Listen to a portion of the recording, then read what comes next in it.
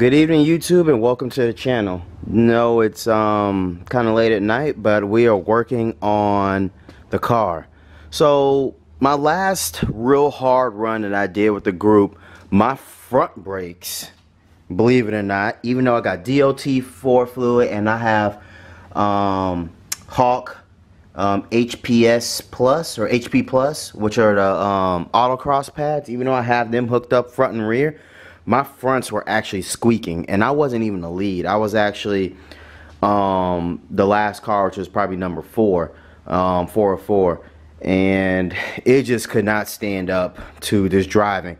So, you know, my first step is I'm gonna try to cool the brakes down. So what I'm gonna do is I'm gonna do a fog light brake cooling duct conversion. I'm gonna cut these fog lights out.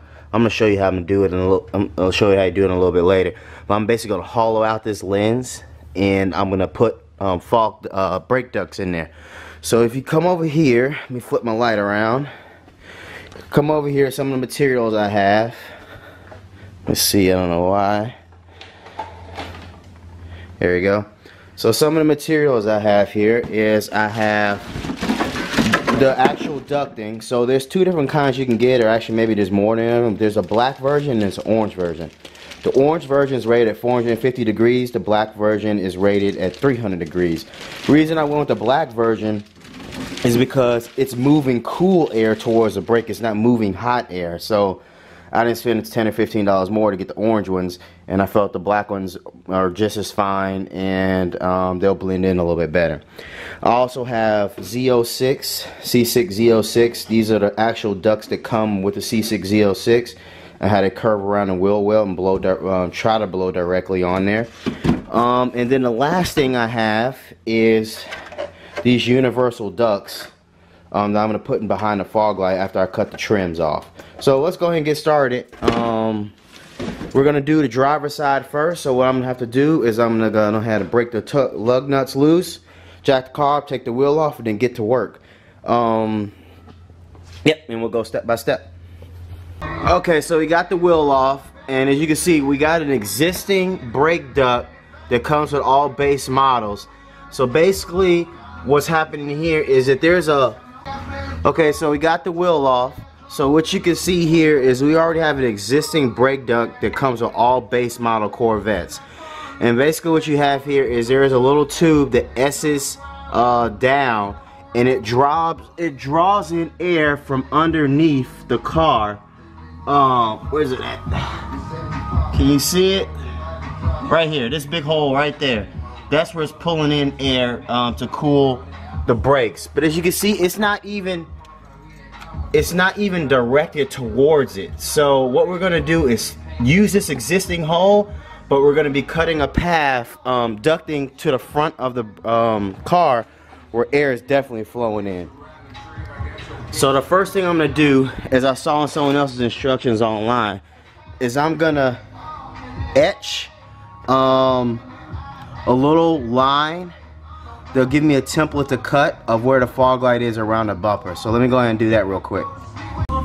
Okay, I got it etched. So the next step is I'm gonna go ahead and I know the lighting is getting blocked, but I'm gonna go ahead and remove the inner fin, uh, inner uh, fender covers, which is just nothing but these little push pins, and then get access to the fog light, disconnect the fog light, pull it out, and start the modification of the fog light. So let's go and do that. Okay, got it all disconnected, and as you can see, it easily comes out just like that. Very simple. so go ahead and lay that to the side, and see what we got here. So yeah, this is the old tube here. So we're gonna go ahead and just go in. Okay, I didn't think it was gonna fall apart like that. But we'll go ahead and remove this, put it back together later. But we just wanna take this off. It's only held on by like, I guess this little pin. But yeah, let's get to work on disassembly. Then um, we are, actually the fog light's right here. So first thing I'm gonna do is I'm gonna go ahead and let's go ahead and just disconnect the wiring harness and then we're gonna work on um, there's some nuts in here now you can't see it I'll get a little light but there's some bolts um, holding it in. It's only a few. Then we're gonna get uh, taking the fog light out. All right, so we got it disconnected. Um, it's only these, as you can see in three circles, just those three um, little bolts, screws, actually screws, just holding it in. Um, I thought originally it was these tabs up here, and so I pulled on, and as you can see, I already broke one. So the first thing we're going to do is I'm going to take it over to the bench, and as you can see, um, you can see the little line right there. I've already kind of, um, I know the lighting's bad, it's nighttime, but you can see the little lighting edge right here, this little mark. I've already marked out what needs to be cut. So what we're gonna do is we're just gonna go to the bench and um, disassemble the light, then start cutting and molding. But yeah, let's go step by step. Okay, so I got it over here on the bench, and after looking at the pictures of what the other guy did, I thought this housing assembly kind of just separated um, and then I can um, attach it a, a, different way. But apparently this whole assembly is one piece and what he did is he essentially just cut this and it was a very straight and clean cut. He just essentially just cut this and he just made the assembly uh, two pieces and then slid this in, in its place and duct taped it and epoxied it. So, um, I didn't expect to do that, and um, you know I'm no shy away from cutting, so I'm gonna go and get the circular saw out and just start. I mean a little circle blade out and just start cutting um, around the trim. So I'm um, gonna cut a little bit farther back so I can see what I'm working with. But basically what you're doing here is you just want to get the inside light out and pull it out. Um, so it kind of ends, kind of goes right here. But yeah, let's go ahead and figure it out, mock it up, and um, and go from there. Okay, so we got the blade out, made a cut. I didn't able to make it. I didn't make it all the way over, but I can just rip that. Maybe I'll put a saw out real quick and get it. But yeah, let's go ahead and try to separate it real quick. Okay, it was so close to just being able to break apart. I was able to pull it apart. Let's get the light over here. So you can see this is the part that separates. This is almost exactly the way he had it looking in the photo. Um, this separates from the back side. Here's the front side, which still has mounting brackets that I need.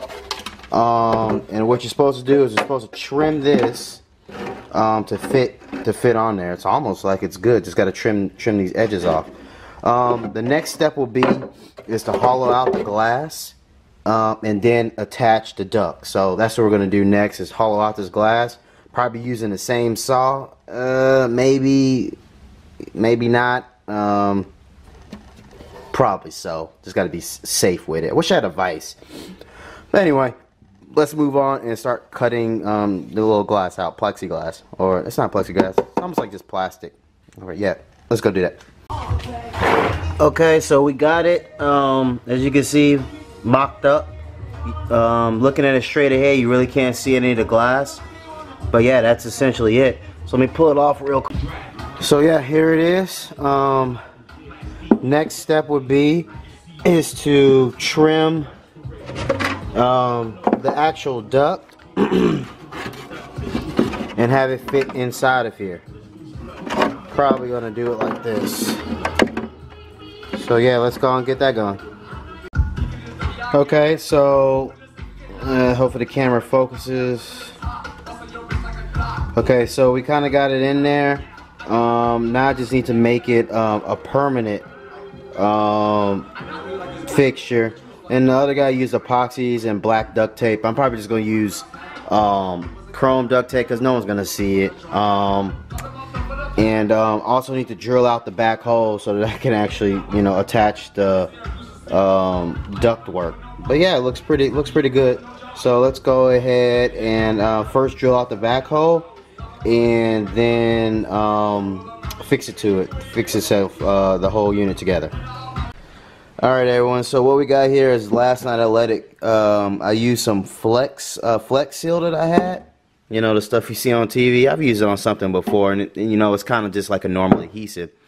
But um, it's holding up over, holding up pretty well, nothing's, nothing's falling out as you can see. So the next thing I'm to do is I'm to actually use this ducting tape and then that'll be the next step. Then after that, I can go ahead and uh, slide the the um, mock-up intakes in and then start running the piping. So let's go and put the duct tape on real quick. Okay, as you can see, we got the, the ducting tape, um, insulation tape all wrapped up. It's pretty secure on there. So the next thing is, is to actually, uh, I guess just hook them up. Just go ahead and put them here in the bumper. So I'm going to grab them.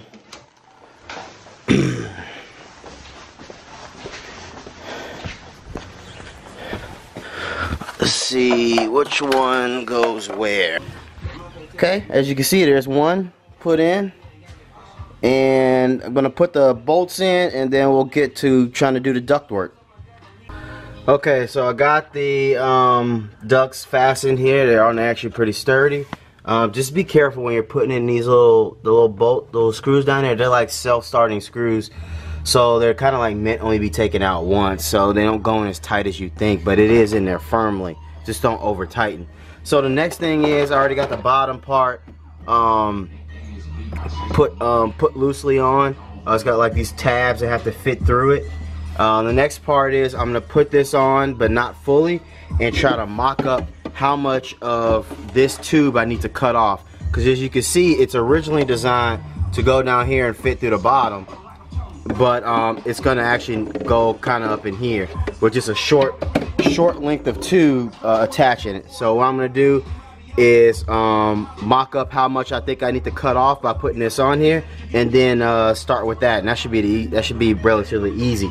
Only part I got to do is I got to go to the hardware store Walmart and actually find some clamps that will fit over this because mine are too small or extremely too big. So I need to go to Walmart and get about oh 10 clamps uh, yeah so yeah. That's what I'm gonna do after um, after I mock it up a little bit Okay, so I fastened up. Originally, I had this much tube, which would have been perfect length. But of course, you need more length to work with. So I pretty much doubled it. Fasten it up to this. So next thing is I'm gonna stick it um, through the guard when I put it up, and then attach it there with a clamp.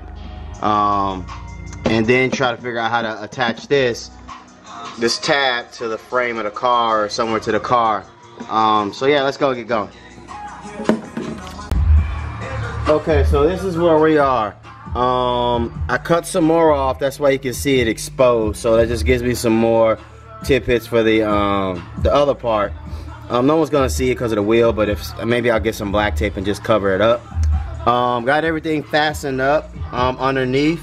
And what I did is I found these brackets that I had in the um, drawer, and I just took out this um, this control arm bolt, put the bracket in, and and got a little screw and nut um, behind it or bolt and nut. So it's on there pretty pretty sturdy. Um, I'm actually not concerned about that. I mean it's not really wiggling. So the last part is and it's very easy just create just take a tube and go from here to basically here. And I know you can spend $250 and get like a adapter that goes around the hub and it plugs right in but I've seen other people just do um, a hose from here to here and just zip tie it around the control arm. So that's exactly what I'm going to do with uh, zip tie and, and stuff like that because I'm not going to spend $250 just on a piece of sheet metal to go around my hub. But other than that, it is definitely um, flowing straight in through there and coming out around here. So I'll show the finished um, finished look after I get the hose right here and then I'm going to have to do the other side. Okay, so we got one side done. As you can see, yeah, it's exposed, but that's just, you know, you know how I am. 80-20 rule, 80% functional, 20%, I mean 80% of the way done. So some might say it's half-assed, but I say it's 80%. It's functional, but, you know, it kind of got a little off. But anyway, enough of that. But anyway, so, you know, got it all hooked up. All the rivet, uh, push pins are in. The bracket, I just need to tighten this down just a little bit more. Um, this is nice and tight um, clamps on there. I could cut off the overhang, but you know, it's just really hard to get to. Um, so also got a little zip tie here just to make sure it's in place. As you can see, it is blowing directly right here on the back of the rotor, which is where it's supposed to be blowing. It's not supposed to be blowing on a caliper, um, but it's supposed to keep the rotors cool, which does keeps the brakes, cool, you know, brakes cool because it's applying, but yada, yada, yada. But anyway, it's it hooked up the way I want it and it actually looks pretty good and I actually like it. So the other thing is I gotta do all this duct work and the same thing to the other side. Should go relatively fast because I know what links I need to cut and exactly how to set everything up and I don't have to be figuring anything out. So yeah, let's go ahead and do that. Okay, so we got both ducts hooked up. I know it's bad lighting. You see this is the driver's side. Um, Hopefully I got enough lighting to show you over here, but here is the passenger side. As you can see, I have a lot less um, foil or wrapping exposed, but I can figure that out later. Um, blowing directly on the rotor, exactly where it's supposed to be, without that $250 fancy thing. Um, so last thing I gotta do is just put the wheels on there. Um, as you can see, here's the fog lights. So one other thing I'm gonna be buying, I'm gonna buy some grills um, mesh grills, not too mesh to restrict flow, but just just a little bit so you don't actually see, you know, the um, the cuts and, and everything inside. So it just, you know, obscures it a little bit. Uh, so I'm gonna go to Amazon and order that. Probably not gonna show it um, in this sec in, in this video, but um, if you haven't been to the channel before, please like, please subscribe. Hope you like my work. I know it's just it's not 100% perfect as far as aesthetics, but I'm pleased with it. But next week, I'm going to be taking off, well, probably not next week, week after, I'm going to be taking these wheels right back off because I have Wilwood um, brake, front brake calipers coming in. I'm going to be swapping these out just because I need the stopping power. But yeah, like I said before, if you haven't been to the channel before, please like, please subscribe, and thank you for watching.